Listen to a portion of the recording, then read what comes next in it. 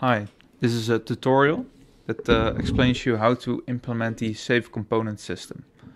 For now I'm going to use the FPS microgame from Unity. So when you search microgame in the asset store you see the Karting, the FPS and the platformer microgame. The microgame is a very small FPS game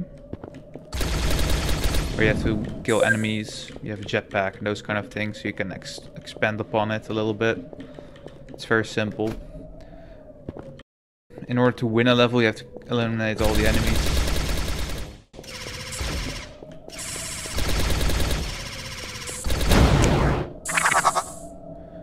And then it goes to the next level or it ends the game. And my goal right now is to implement saving in this prototype. So in order to start using the plugin, I've already put it in the project, as you can see on the left, and I'm going to add a saveable to the player. With this component, you will have to add a saveable to each game object you want to save separately. So in this case, we want to save the player. We add a saveable. And then for the saveable, it doesn't save anything yet. We have to specify components or rather there are components that implement a iSaveable interface.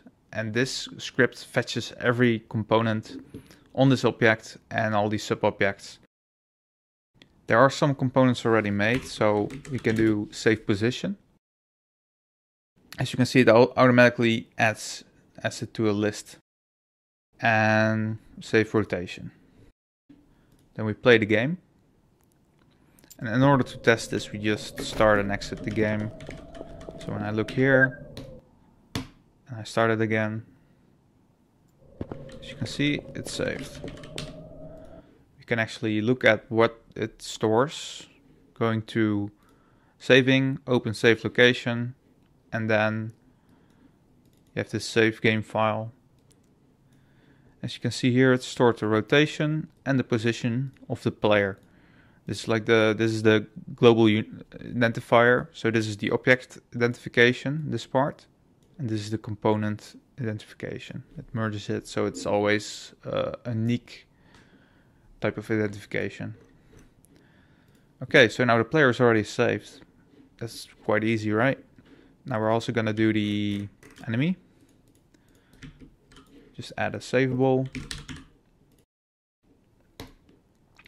Position, rotation. In this case, the enemy also dies. And I believe the visibility just gets set. It doesn't really get destroyed. So we save the visibility as well. And since there might be more enemies, we are just also gonna add this to the prefab. Same with the player. And the same thing for the turrets. Savable, position, rotation, visibility. All right, let's test this.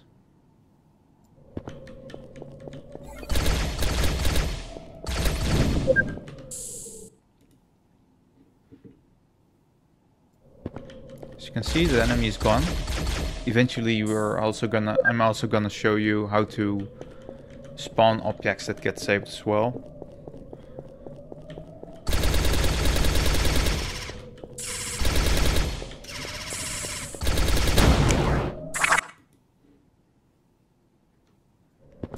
This is empty as well. For the visibility, we can also use it, apply it to the pickups. So saveable and just the visibility. We don't really care about the rotation or position. It's going to be the same anyway. Unless we're spawning them. So I guess we're still going to use the position eventually. Some future proofing. So you can see it as automatically added it for this one as well. Alright, the next step would be to also save the health. For this we have to implement uh, the iSaveable interface into the health component of this project. So I'm gonna search for the health component. And you can actually see this variable, current health. This is used to um, configure or set the, the current health of the uh, object. So we want to save this variable. In order to do this, we have to implement the iSaveable interface. And I use Alt-Enter. And then I get an autocomplete. Tells me to implement this or use this. And then Alt-Enter again. And then it implements the interface and I'll go through this. Like the on-save condition is a way to say, okay, I don't want to save this. Please don't save it. If you don't want to save it, you return the condition uh, for which it wants to save or not to save. In this case, we just want to save it always. And on save, we will have to pass a string, and the string goes to the save file stored in the like uh, with this for instance yeah now the thirds have also been added we want to like this is the data string and we want to uh, put the health value in here. And one way to do that is to use the um, JSON utility. So we make a new struct. Public uh, float current health. And we have to define it as system serializable. This is so that Unity can inspect this variable as well. This is needed for the JSON utility uh, because it doesn't work on non-inspectable or ser Unity serialized uh, fields. So, and in order to use this to create a new struct, we do return JSON utility to JSON so we turn an object into a JSON file. In this case is the save data.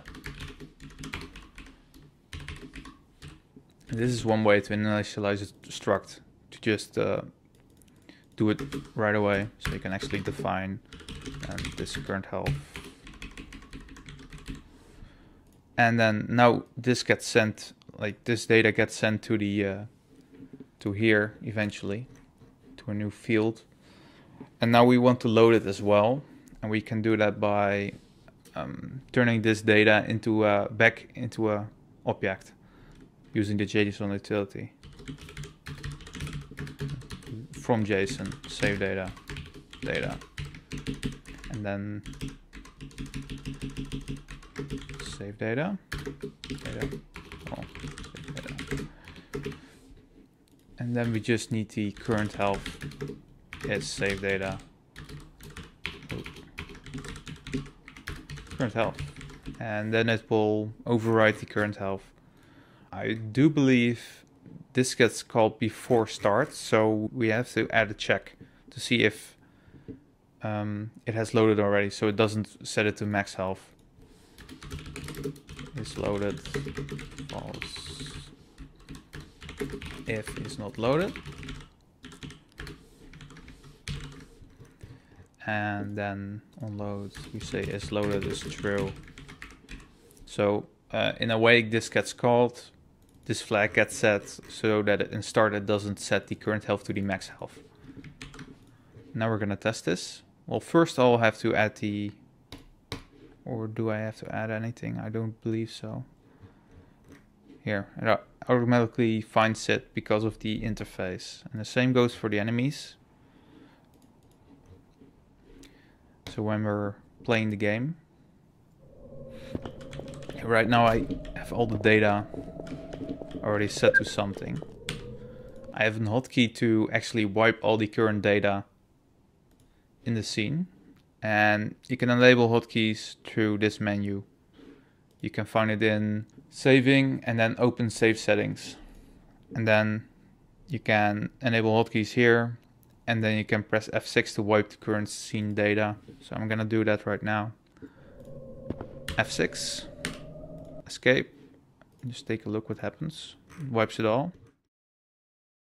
Only based on the, the objects of the current scene. There's actually a method you can also call to remove data based on different scenes. So when you play again, everything's reset. And now we're gonna test the health. So you see that it's 50% now. It's damaging as well. And then we're gonna stop, play again.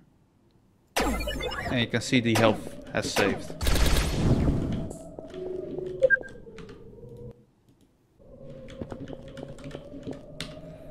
Alright, the next thing is having enemies spawn health and that it stays inside of the scene. We'll have to take a look at the enemy, how it actually spawns the prefab.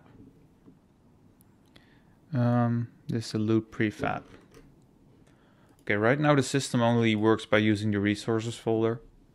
Eventually I still have to add a method to use asset bundles instead. So it will use an asset bundle reference to load in assets. This would be a lot better in terms of memory use. So um, I'll for now I'll put the pickup in the resources folder. And I'll have to change some of the code in the hoverbot. So I'll look at the reference for the loot pickup, loot prefab. I use shift F12 to see all the references and then instead of trying to instantiate it this way I'm going to use the save master use the same method with alt enter saving and then spawn save prefab right now the only source is resources and we're to look at the name as loot health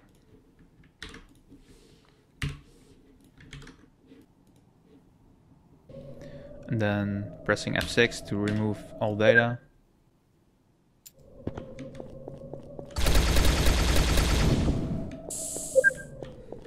Alright, now it doesn't, didn't really set the proper location.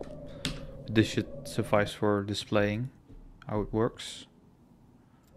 And when it starts again, you can see it's still here. Right now I'm gonna look at the spawning code for the location. Okay, so for okay, spawned object,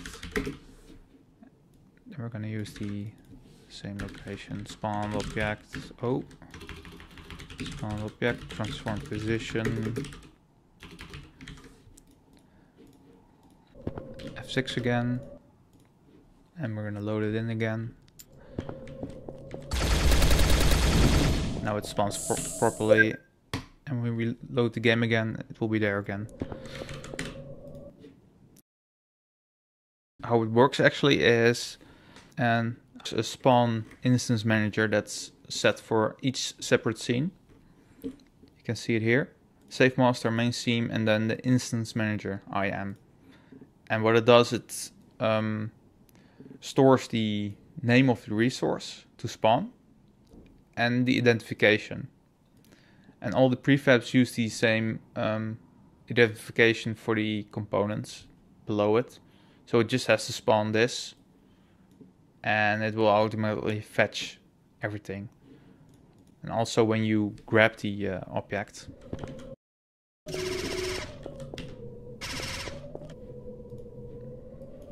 Okay, when I quit, you see it automatically removes all the instance data as well when it gets destroyed. One of the features or the good things about this framework is that you can make new scenes and new objects and you don't have to create a new implementation for each new object you add into the scene. So if you want, for instance, um, multiple of these enemies, like, okay, sure, I know. I want each of these have a new ID assigned to them. So let's go wild. And then when I quit again and I load in again, it'll still be there. This makes it very easy to add new content. And uh, yeah. So yeah, this, this was a brief overview of what the functionality is for the save system. As you can see, it's pretty easy to use and it's pretty easy to extend and create your own saves. Alright, so thank you for listening.